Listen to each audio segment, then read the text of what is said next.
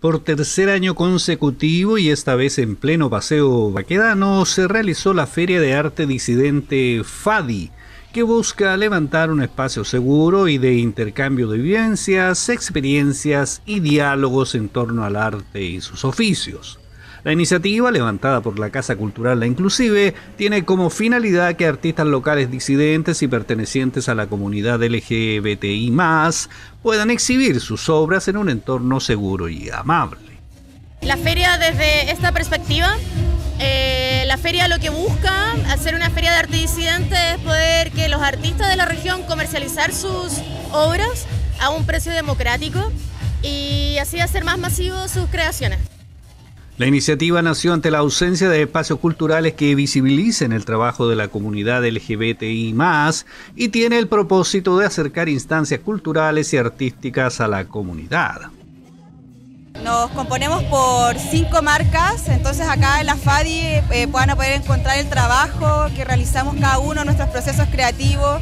Eh, yo en mi caso, mi marca se llama Pájara, yo me dedico al tejido solamente con fibras naturales y recicladas pero también tenemos un compañero que trabaja la estampación, eh, una colega que es pintora y trabaja la pintura en denim y otra colega que trabaja la reutilización textil. Estoy súper agradecida porque en realidad hace rato que falta organización para este tipo de eventos y para que eh, los artistas podamos mostrar todo el potencial porque en realidad en Iquique uno, uno nunca se imagina que hay este tipo de cosas.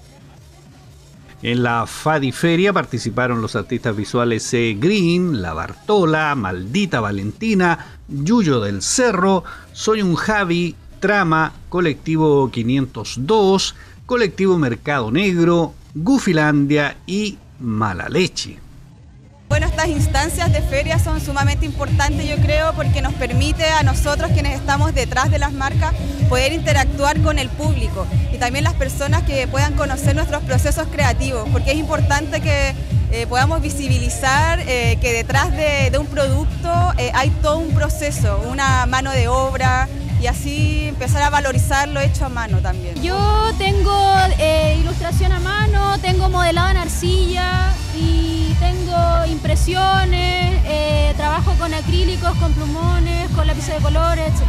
La feria está como hermosa, simplemente hermosa. Súper interesante que se puedan dar estas instancias como en Iquique donde no hay como tanta visibilidad y para los artistas de acá es bacán. En esta oportunidad, la Feria de Arte y Diseño Disidente FADI Feria contó con el financiamiento del Ministerio de las Culturas, las Artes y el Patrimonio.